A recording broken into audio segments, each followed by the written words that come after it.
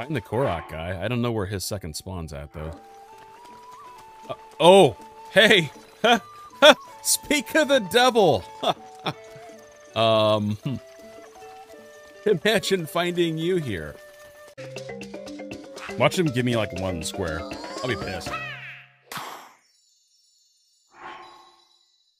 Son of a... I just paid three Korok seeds for one square. Brutal.